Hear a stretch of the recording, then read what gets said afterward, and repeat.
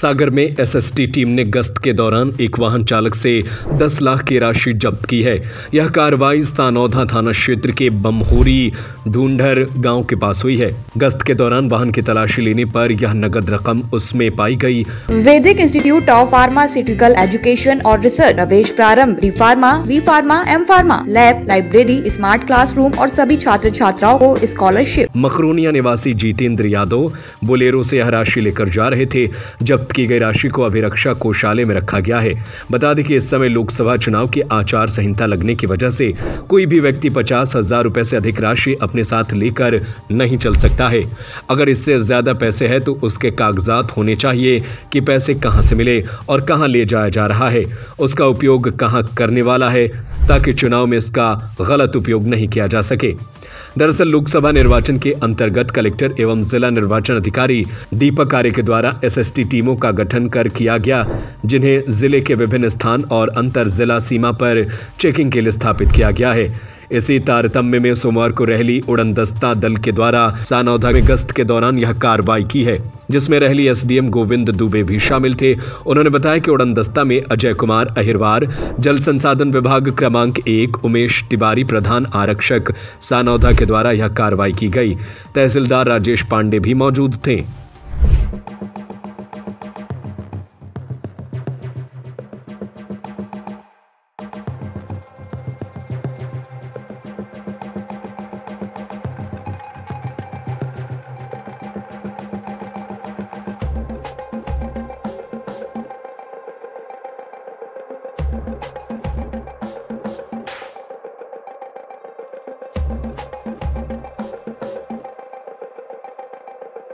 thank you